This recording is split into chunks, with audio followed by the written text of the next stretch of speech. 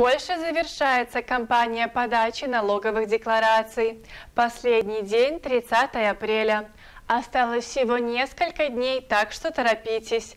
Иностранцы, которые являются налоговыми резидентами Польши, также обязаны подать декларацию.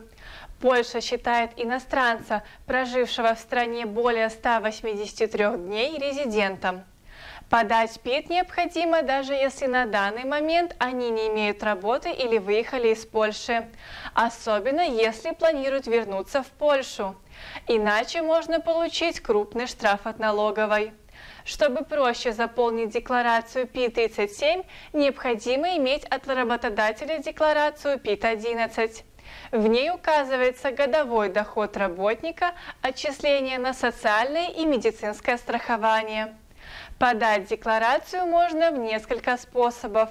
Бумажную, заполнить вручную и отправить по почте, онлайн, твой ЕПИД или с помощью специализированных программ.